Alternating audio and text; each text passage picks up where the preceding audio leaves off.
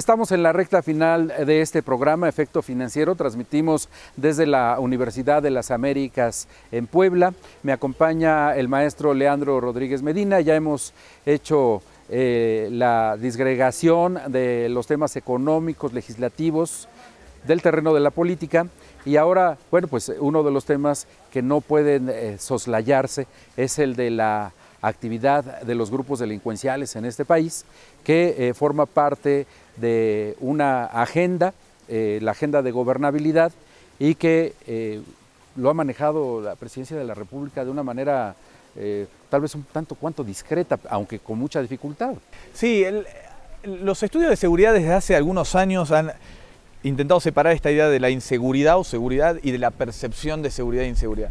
Y yo creo que los gobiernos han encontrado en ese, en, ese clivaje en esa diferencia que, de alguna manera era teórica, por decirlo de alguna forma, han encontrado un recurso maravilloso. ¿no? La idea de que una cosa es, son los problemas efectivos, la cantidad de asesinatos, la cantidad de secuestros, y otra cosa es lo que la gente piensa de la inseguridad.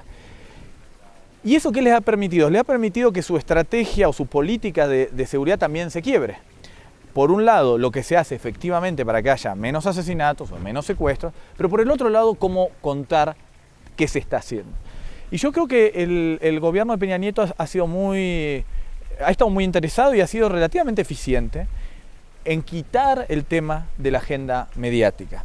¿Cómo lo han hecho? La verdad, eh, tal vez daría para todo un programa porque tiene que ver con las relaciones entre Estado y prensa y eso es un tema complejo.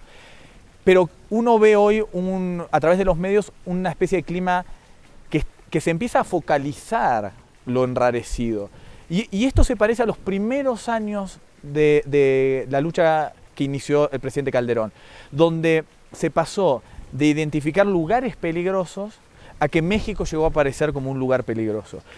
Y aquí hay un camino a la inversa. Hoy se habla de Michoacán, se siguen hablando de algunos focos en el norte del país, pero se está fuertemente detrás de la idea de que México como país no es un país peligroso. Y esto es clave para la inversión extranjera, esto es clave para un país que está entre, o estaba hasta el año pasado entre los 10 más turísticos del mundo. Si, esto no permea de esta manera, hay muchos riesgos de que la inversión caiga, la cantidad de turistas que se reciben caiga y la economía tenga problemas. Sin embargo, em, hay eh, datos eh, acerca de la actividad lo, que ha significado en términos eh, de economía eh, este asunto de la, de la, inseguridad en este país. Eh, referiré un caso muy particular. Era más fácil en el sexenio pasado encontrarte con un retén militar que con un grupo delincuencial. Y hoy es distinto, ¿no? No sé si sea bueno o sea malo.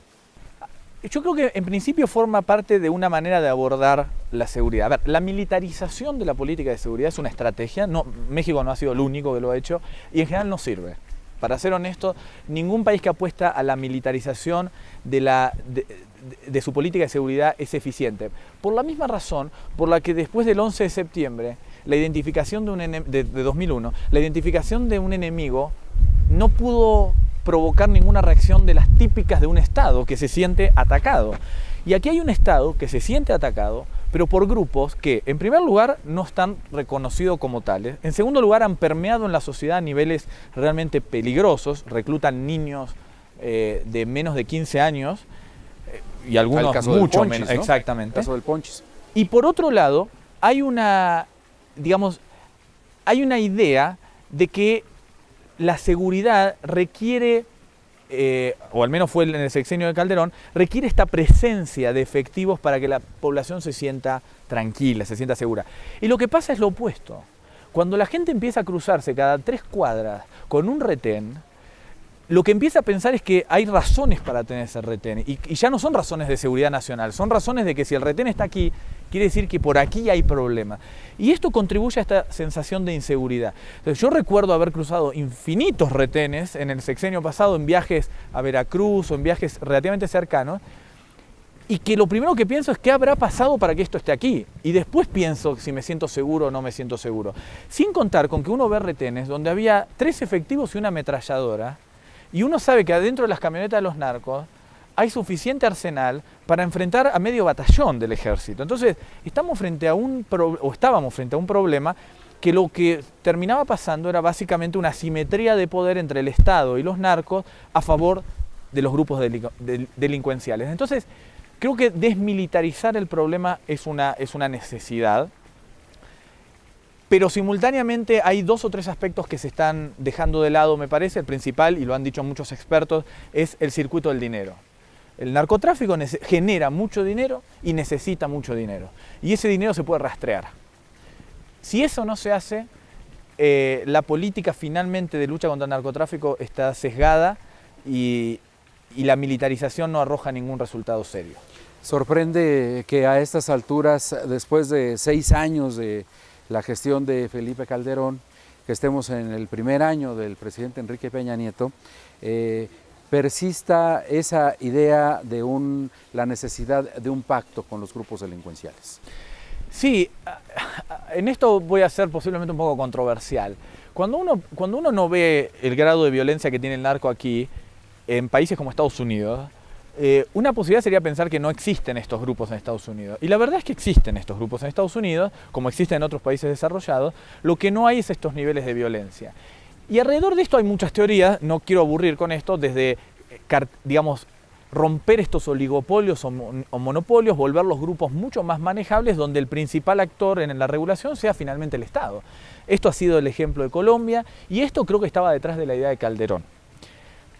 Ahora, eh, creo que el narco en México tiene un poder que posiblemente el presidente Calderón eh, subestimó a la hora de iniciar estas acciones. Poder económico, poder, poder de fuego y poder político decir, la capacidad de penetrar las instituciones políticas eh, y, judiciales también. Y creo que ante, ese, eh, ante esa realidad, la gente terminó convencida, votar a quien votara, especialmente en la elección del 2012, de que esto no podía continuar. Y creo que fue uno de los problemas de la campaña de Josefina. Se tenía que distanciar de alguien que en realidad era su partido y había sido su jefe hasta, hasta hace muy poquito. Y ese tipo de complicación estaba puesta por el hecho de que había cierto consenso ciudadano de que no se podía seguir viviendo en un nivel de violencia así. Leandro, apreciamos en verdad tu participación en este programa cuando eh, Leandro no está en México, está en Puebla, seguramente lo va a encontrar en Argentina o en Inglaterra, si es que eh, en verdad agradecemos tu participación en este programa, Leandro. Eh, ya para terminar, te pediría una última reflexión. sé que es complicado para ustedes los académicos, pero en términos deficitarios, ¿cómo calificarías la gestión de Enrique Peña Nieto? A los profesores de la UDLA ponemos calificación de, de 0 a 10, con 7.5 como calificación aprobatoria. Eh, yo, yo, no soy muy generoso con mis calificaciones, mis alumnos lo saben, pero yo diría que frente a la expectativa que tenía en términos de este regreso casi por muchos anunciado como muy negro, eh, yo le pondría un 8. Creo que ha abierto muchos debates, creo que la oposición tiene por delante la tarea de mostrar que, que el camino que el Ejecutivo propone no es el único, eh, pero lo tienen que demostrar con debate, lo tienen que demostrar con presencia, lo tienen que demostrar con inteligencia. Ese es un desafío para la política. Y me parece que eh, esto es lo que hay que esperar de un ejecutivo en un contexto de crisis. Abrir el juego, abrir el debate, hacer política, pactar y preferentemente hacerlo de la manera más transparente posible. Si tenemos eso, podemos esperar un sexenio, al menos lo voy a decir en primera persona, mucho mejor de lo que esperaba.